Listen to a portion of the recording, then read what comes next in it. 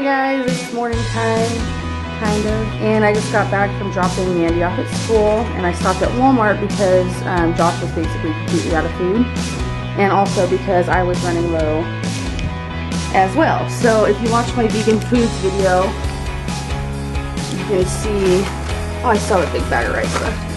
Um, so I only have rice left, pinto beans, like three rice cakes, one bun for a Boca burger, which I've been kind of staying away from. Um, I still have the apples and cinnamon oatmeal, and then some prunes and chia seeds. This is my banana stash. but I do also have um, a big bag in the freezer of like a bunch, or two of bunches, so like that. Um, I have two apples and an orange left.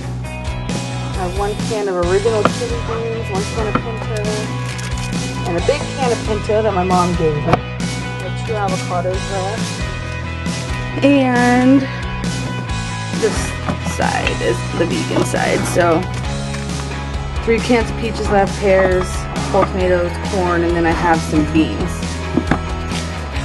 But basically, um, I could have just sat there and had like beans with the V8 for like two more days and stuff like that, but it was the best time to go because Josh needed food, so I got a couple of things. Not a couple. It's not like a huge haul. I'm going to do a video separate. Um, the next time we do a huge haul, this is what I got today. I'll put the prices on the screen. One can green chili, oh no, enchilada sauce.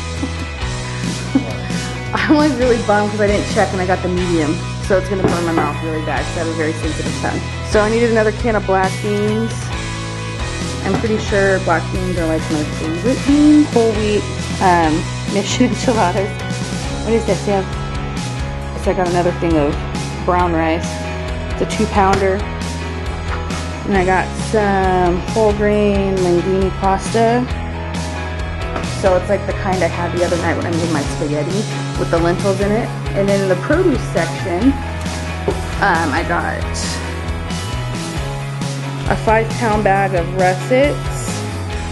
And I did definitely open and check all of them while I was in the aisle because I've had a couple of bags of nasty ones in them, but that was from Sprouts, which Sprouts has been irritating me lately with their produce because I've had a lot of rotten stuff when I cut into it and that's not cool. And then I got another five pound bag of potatoes, but these are red potatoes. And then I got, say hi babe. And I got one red onion, one yellow onion, two very green avocados, because I have two that are ripening right now, so. And then I got these beauties.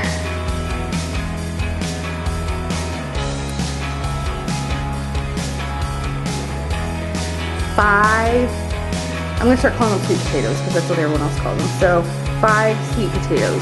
I don't know if I showed you this.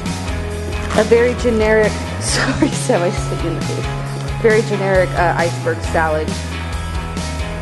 It's a one pound bag. It'll probably last me like three days. That's all I got from the store. The rest of the stuff was Josh's. So I'm gonna put my total of what I spent on my stuff